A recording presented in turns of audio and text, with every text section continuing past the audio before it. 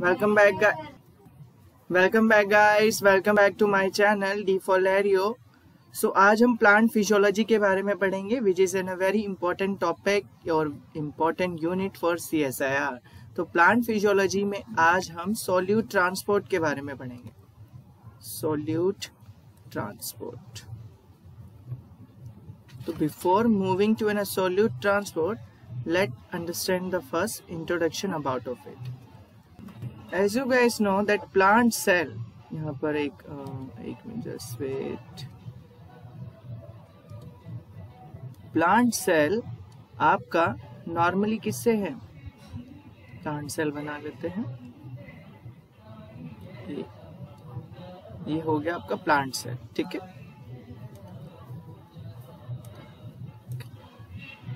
आ, इसको लेबल कर देते हैं सेल वॉल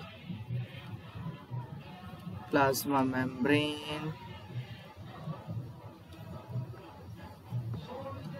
बीच में वैक्यूल्स एंड बहुत से वेरियस ऑर्गेनल्स प्रेजेंट होंगे और दिस इज़ कॉल्ड ना साइटोप्लाज्म ऑफ़ प्लांट सेल तो जो प्लांट सेल है या कोई भी जो सेल होता है वो सेपरेट होता है इन्वायरमेंट से प्लाज्मा मेम्ब्रेन के ज़रिए। इस प्लाज्मा मेम्ब्रेन के ज़रिए प्लांट सेल सेपरेट है। ओनली और ये जो प्लाज्मा मेम्ब्रेन के ज़रिए ये प्लांट सेल एक्सटर्नल इन्वायरमेंट से separated that is just two lipid layer thick ये सिर्फ़ टू लिपिड लेयर थिक होती है। And this thin layer separate in a relatively constant internal environment ये इंटरनल को जो सेल के अंदर का जो कांस्टेंट इंटरनल इन्वायरमेंट है, उसको कंटिन्यूसली सेपरेट करती जाती है हाईली वेरिएबल एक्सटर्नल सराउंडिंग से। क्योंकि बाहर का इन्वायरमेंट क्या है? वेरिएबल है और एक्सटर्नल है। सेल के अंदर का सराउंडिंग टोटली कॉन्स्टेंट है। तो ये plasma membrane which is two lipid layer they is continuously separated constant internal environment from an highly variable external environment यहाँ पे मैं लिख देता हूँ हाईली वेरिएबल एक्सटर्नल इन्वायरमेंट और ये कांस्टेंट इंटरनल इन्वायरमेंट सेल की स्ट्रक्चर पे मत जाना, ये जस्ट थोड़ा सा आउट फोकस है दैट्स इट और इसके अलावा प्लाज्मा मेम्ब्रेन एक हाइड्रोफोबिक बैरियर प्रोड्यूस करती है। एक हाइड्रोफोबिक बैरियर कहने का मीन्स कोई भी डिफ्यूज आउट इजिली ना हो जाए that's why it producing in hydrophobic barrier to diffusion और उन्हीं ये मेम्ब्रेन सिर्फ़ उन्हीं मॉलिक्यूल्स को एंट्री करेगी जिनकी आ, इस मेम्ब्रेन जो सेल के अंदर जिनकी रिक्वायरमेंट है। यानी ये एक्चुअली में फैसिलिएट करती है ठीक है? फैसिलिएट डिफ्यूजन करेगी एंड कंटिन्यूसली रेगुलेट करेगी इनवर्ड और आउटवर्ड ट्रैफ़िक को। जो भी आपके मॉलिक्यूल्स जो भी आपके आयन सॉल्यूट इनफ्लक्स हो रहे हैं और ई फ्लक्स हो रहे हैं उनके ट्रैफ़िक को कंट्रोल करना भी इस प्लाज्मा मेम्ब्रेन का काम है क्योंकि ये सिलेक्टिवली परमिएबल है। ये उन्हीं आयन्स और मॉलिक्यूल्स को सिलेक्टिव करेगी जिनको सेल टेकअप करना चाहता है फॉर देयर न्यूट्रिएंट यानी ये जो भी वेस्ट है सेल के अंदर, उसको एक्सपोर्ट आउट कर देगी। और इस तरह से ये सेल के अंदर का टर्जर प्रेशर को मेंटेन करके रखती है। जैसे कि सेल आपका कॉन्टैक्ट करता है सराउंडिंग के साथ, जो प्लाज्मा मेम्ब्रेन है, वो इंफॉर्मेशन सेल के साथ साथ एक्सटर्नल इन्वायरमेंट की इंफॉर्मेशन भी अपने साथ रखती है। जैसे कि कौन सा मॉलिकुलर सिग्नल दूसरे सेल से आ रहा है। क्या ही आ, कुछ पैथोजन का इन्वेडिंग तो नहीं हो रहा या इस तरह के इन सिग्नल ट्रांजेक्शन को प्रोसेस कराती है।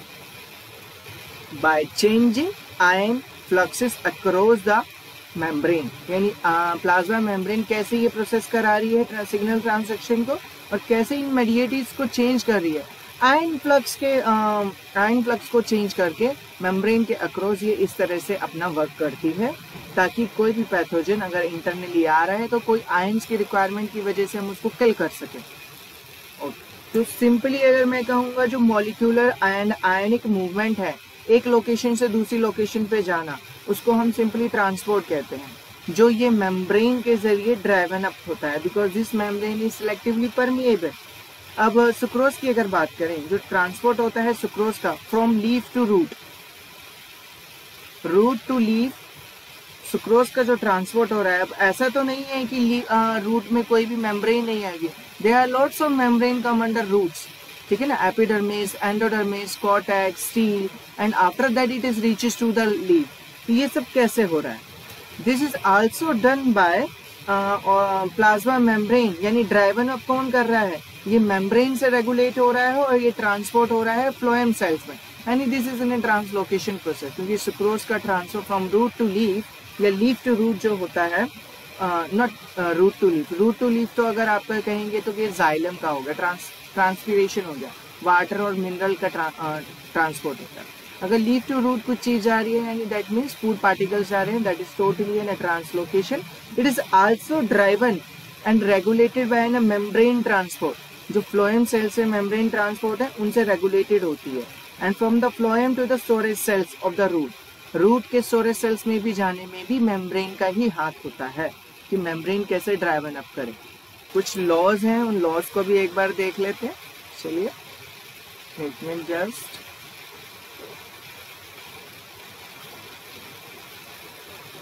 ओके। तो पहला फ़र्स्ट लॉ लेके चलते हैं फिक्स फ़र्स्ट लॉ एक minute just wait I have chosen wrong pen Fick's first law Fick's first law क्या कहता है? जो मूवमेंट होता है मॉलिक्यूल का डिफ्यूजन के ज़रिए, वो हमेशा प्रोसीड स्पॉन्टेनियसली होता है। यानी the movement of molecule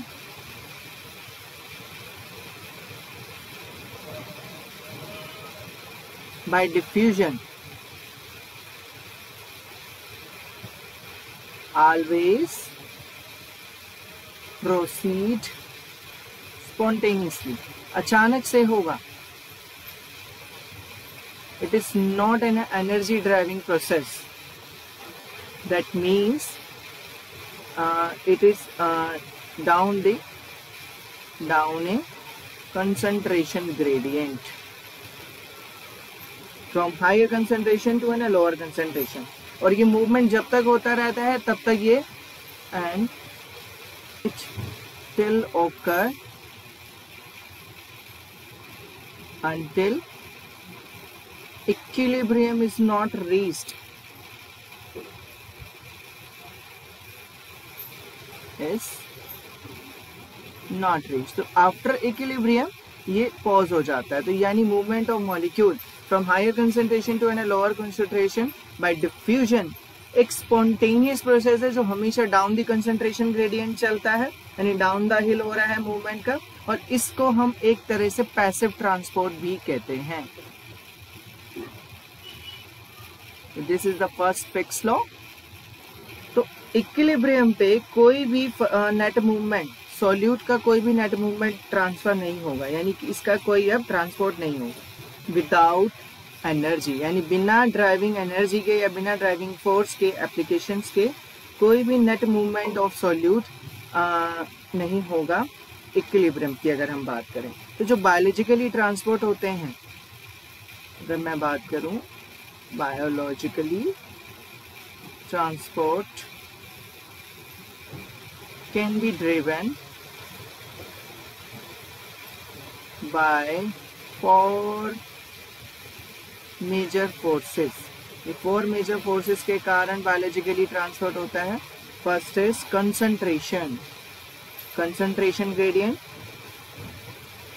hydrostatic pressure ये hydrostatic pressure is also useful in transpiration pull transpiration pull create करने में भी यूजफुल रहता है. Gravity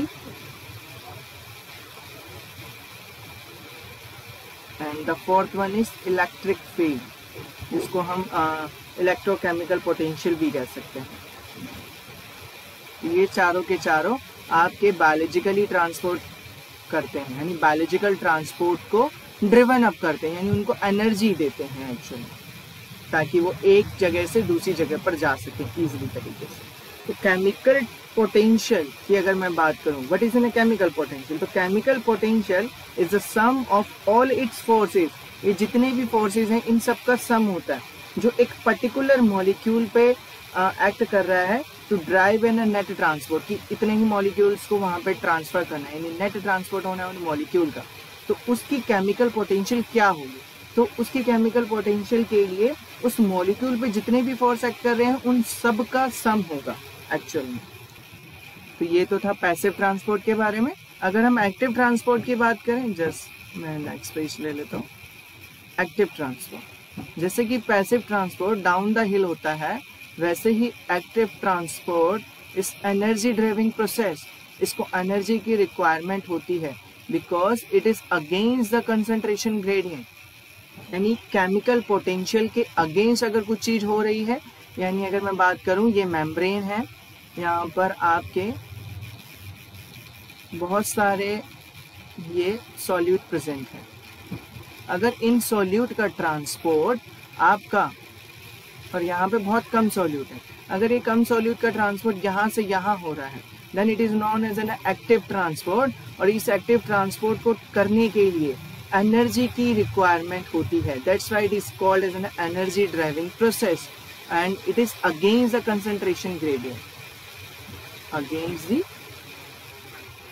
concentration gradient हम ज़्यादातर क्या करते हैं हम थ्योरीज पे जाते हैं। तो आ, अगर आप थ्योरीज की जगह अगर एग्जाम्पल्स पे ज़्यादा जाओगे कि एग्जाम्पल्स के जगह अच्छे से समझोगे तो ज़्यादा बेटर रहता है।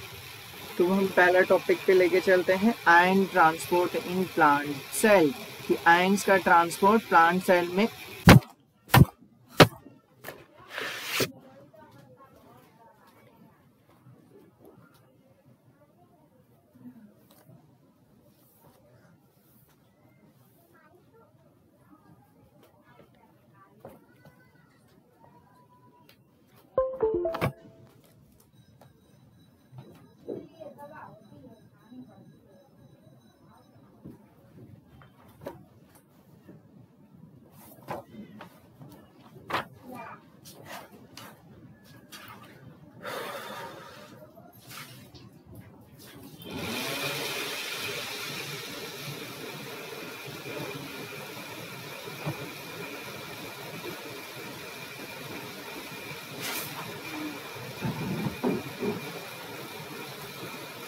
ion transport in plant cell.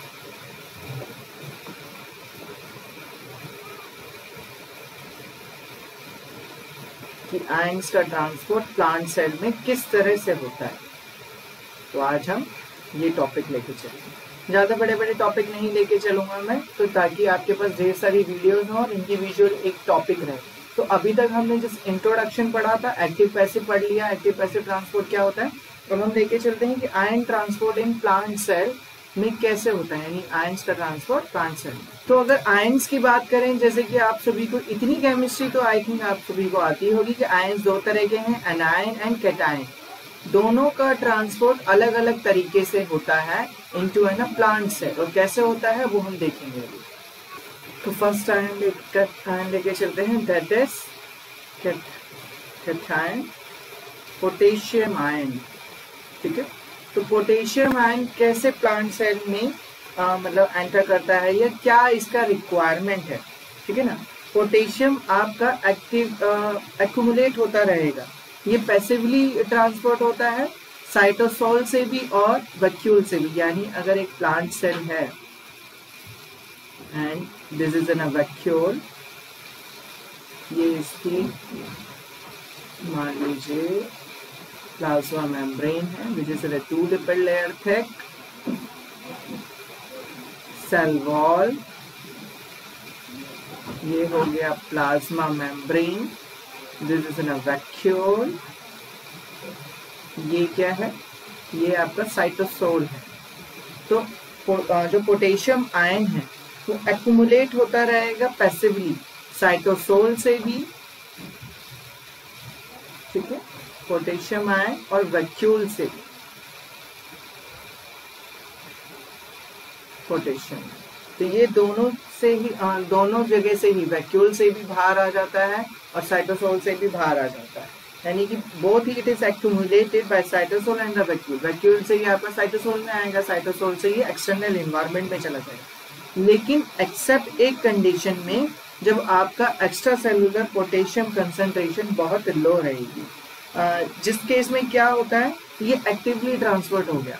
यानी अगर एक्सटर्नल इन्वायरमेंट में या एक्स्ट्रा सेलुलर पोटेशियम कंसेंट्रेशन यहाँ पर अगर पोटेशियम की कंसेंट्रेशन लो रहती है तो ये एक्टिवली ट्रांसफर्ट हो जाएगा यहाँ पर। ठीक है? दैट इज़ एक्टिवली तो पोटेशियम अगर आयन की बात करें तो it act it is transported passively as well as actively depending upon the condition किस तरह की कंडीशन अवेलेबल ठीक है? तो ये दोनों तरफ़ ट्रांसपोर्ट होता है इसका एक्चुअली और एक्टिवली ट्रांसपोर्ट तभी होगा तब एक्सटर्नल इन्वायरमेंट में पोटेशियम आयन की या एक्स्ट्रा सेलुलर पोटेशियम आयन की कंसेंट्रेशन बहुत लो है। ठीक? तो अब बात करते ये तो हो गया पोटेशियम आयन की। अब हम सोडियम आयन की बात कर लेते हैं। सोडियम आयन का ट्रांसपोर्ट एक्टिवली होता है। अगर देखें सोडियम यानी एन ए इसका ट्रांसपोर्ट एक्टिवली होगा। Out of the cytosol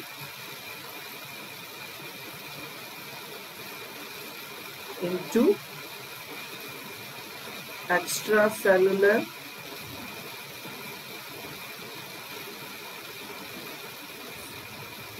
and the vacuole दोनों जगह ये अपने सोडियम आयन को ट्रांसपोर्ट करेगा, लेकिन एक्टिवली ट्रांसपोर्ट करेगा।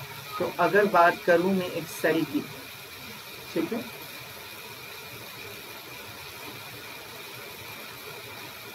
आई डोंट थिंक सो मुझे दोबारा दोबारा लेबल करने की ज़रूरत पड़ेगी। तो अगर हम सोडियम यहाँ पर वैक्यूल है, जिसकी मेम्ब्रेन को हम क्या कहते हैं? टोनोप्लास्ट ठीक है?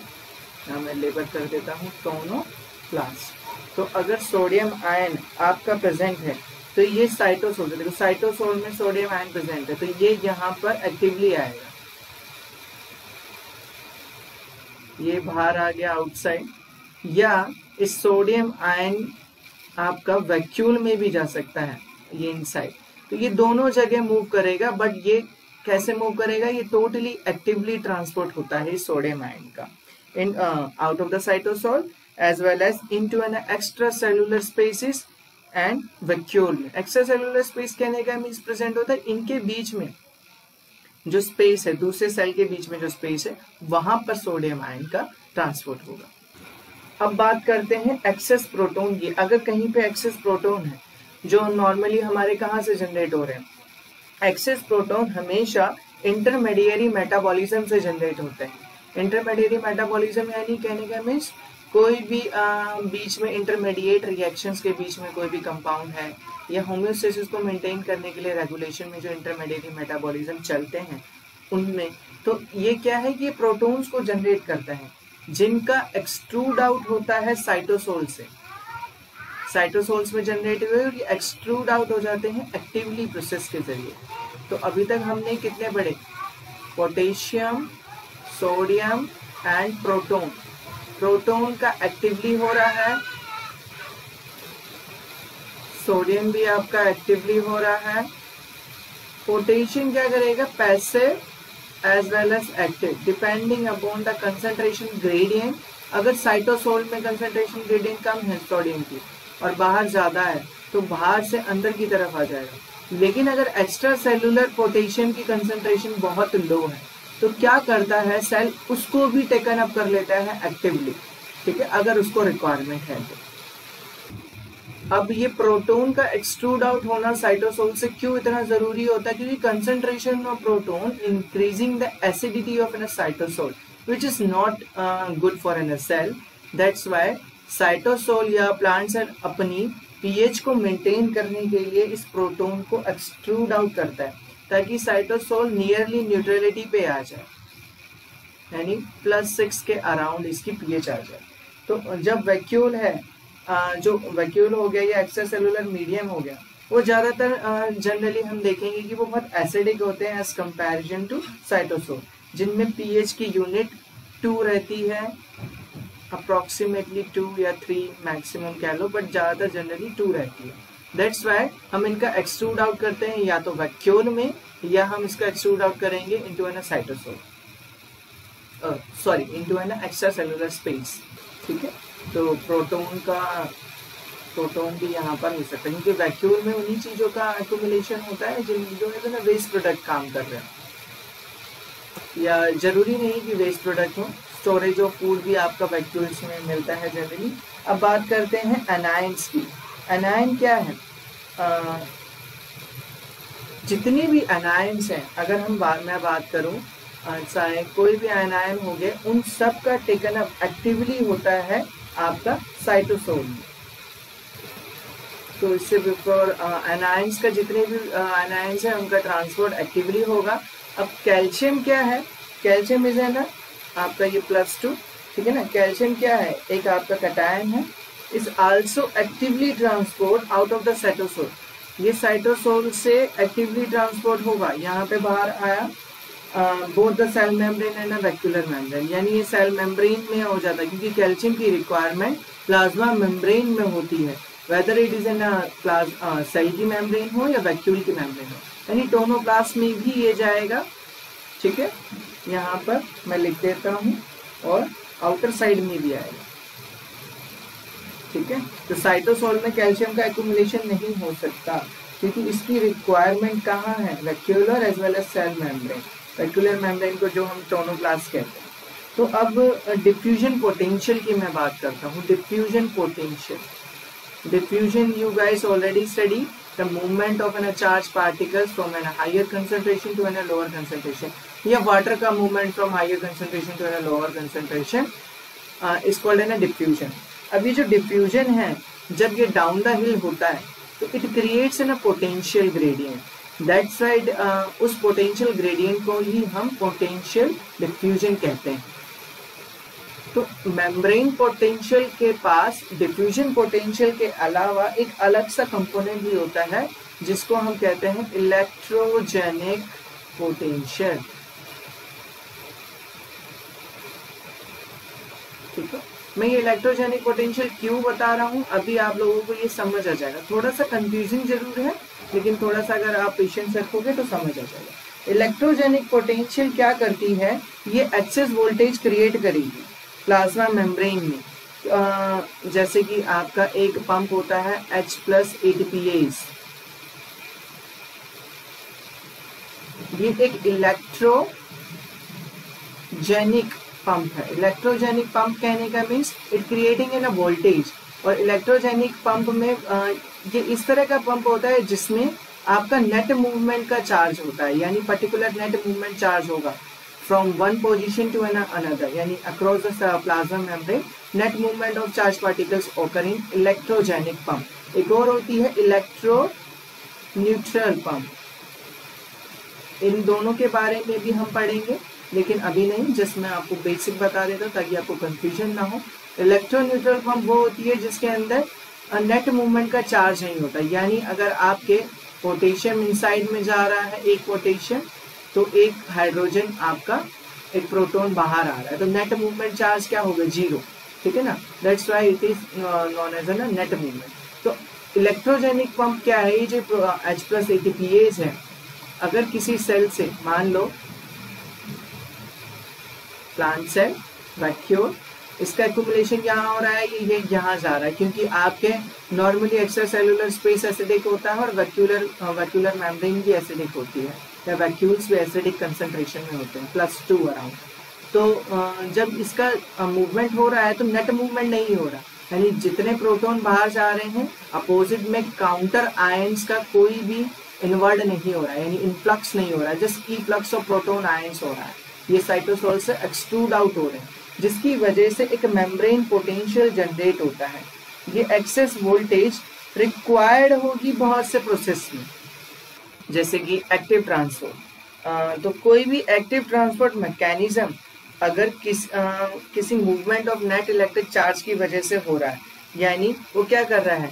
प्लाज्मा मेम्ब्रेन की मेम्ब्रेन पोटेंशियल को मूव कर रहा है। यानी मूव अवे कर रहा है यानी एक जो प्रिडिक्टेड वैल्यू थी गोल्डमैन इक्वेशन की।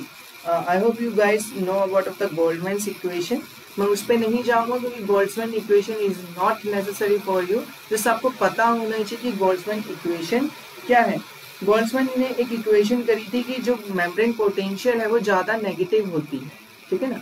तो इसलिए एक्टिव ट्रांसपोर्ट मैकेनिज्म जो आपका एक नेट इलेक्ट्रिक चार्ज की वजह से हो रहा है, यानी नेट मूवमेंट हो रहा है प्रोटॉन बाहर आ रहा है, या वैक्यूल के अंदर जा रहा है तो नेट प्रोटॉन मूवमेंट हो रहा है, जिसकी वजह से मेम्ब्रेन पोटेंशियल शिफ्ट होती है। अगर मान लीजिए, यहाँ पर माइनस एट्टी थी तो अब ये माइनस फिफ्टी में हो गई, ठीक है? माइक्रोवोल्ट तो ये शिफ्ट हो गई। तो जो प्रिडिक्टेड थी आपकी गोल्डमैन इक्वेशन से, वो पोटेंशियल अवे अप हो गई। क्योंकि गोल्डमैन इक्वेशन ने क्या कहा था कि मेम्ब्रेन की potential is fix that is minus eighty microvolt ठीक है? तो ऐसे ट्रांसपोर्ट को हम इलेक्ट्रोजेनिक पंप कहते हैं, जो ज़्यादातर लिविंग सेल्स में कॉमन मिलेगा। लिविंग सेल्स में यानी कोई भी एनिमल सेल या प्लांट सेल हो गया। और ऐसे प्रोसेस के लिए एटीपी का हाइड्रोलिसिस होना बहुत ज़रूरी होता है। ठीक है तो मैं आपको एक बार और गोल्डमैन इक्वेशन बता देता हूँ, ताकि आपको कंफ्यूजन ना तो गोल्डमैन ने जो आपकी कैलकुलेट करी थी equation that are usually minus eighty to fifty microvolt लेकिन ये एक्चुअली में इट इज़ नॉट कमिंग जब आपका ये देखा गया एक्सपेरिमेंटली प्रूव किया गया कि फंजाई और प्लांट में एक्सपेरिमेंटली मेम्ब्रेन पोटेंशियल जो रहती है, वो रहती है minus two hundred to minus hundred microvolt ठीक है? डेट्स वाई गोल्डमैन की इक्वेशन यहाँ पे थोड़ी सी डिस्प्रूव डिस्प्रूव नहीं हो जाती। गोल्डमैन ने जो कैलकुलेट करी थी, ये तो टोटली उससे हटके है। क्यों हटके है? क्योंकि मेम्ब्रेन पोटेंशियल के पास डिफ्यूजन पोटेंशियल जो आपका डाउन द हिल चलता है, उसके अलावा एक अलग सा सेकंड कंपोनेंट भी होता है, जिसको बोलते हैं इलेक्ट्रोजेनिक पोटेंशियल ठीक है? ये रहा इलेक्ट्रोजेनिक पोटेंशियल ये इलेक्ट्रोजेनिक पोटेंशियल आपका एक्सेस वोल्टेज क्रिएट करता है, जिसकी वजह से प्लांट सेल की वोल्टेज ये हो जाती है। वैक्यूल्स में ये हो जाएगी, ठीक है? और आउटसाइड भी ये हो जाएगी। तो इसलिए आपका वहाँ पर गोल्डमैन की इक्वेशन गलत साबित हो जाती है, जो उन्होंने प्रिडिक्टेड करी थी। तो ऐसे ट्रांसपोर्ट मीडियम को हम बोल देते हैं इलेक्ट्रोजेनिक पंप जिसमें नेट मूवमेंट हो रहा है चार्ज का, और जिसकी वजह से एक जो मेम्ब्रेन पोटेंशियल है, वह और ज़्यादा नेगेटिव हो जाएगी, ठीक है?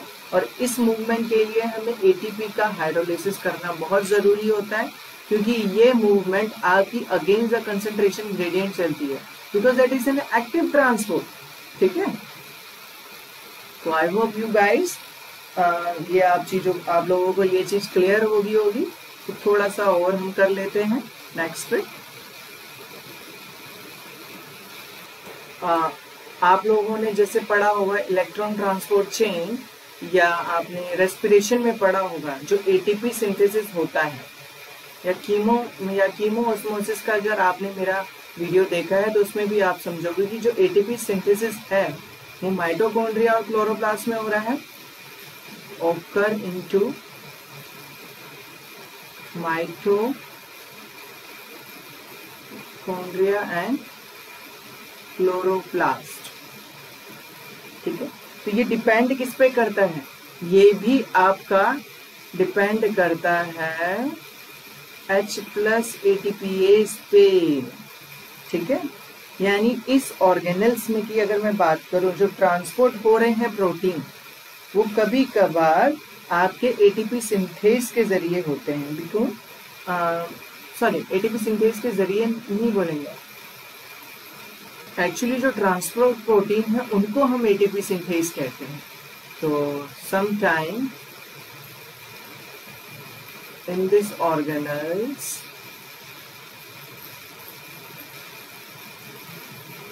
the transport protein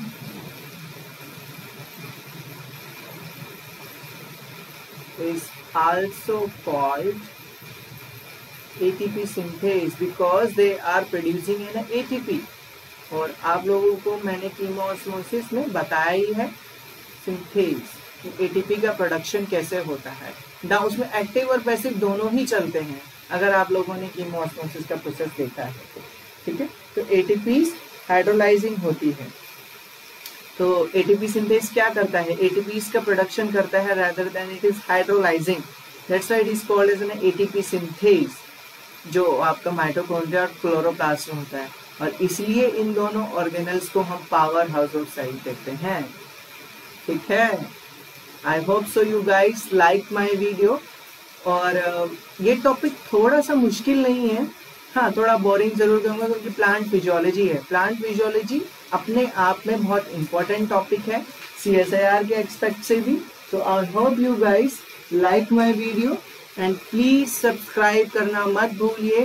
Press the like button as well as subscribe my channel to get an a more video like this और अगर आप में से किसी को भी इस टॉपिक के आ, या किसी भी और टॉपिक के रिलेटेड आपको नोट्स चाहिए तो you can also comment me ताकि मैं आप लोगों को वहाँ पर उसके नोट्स प्रोवाइड करा थैंक यू सो मच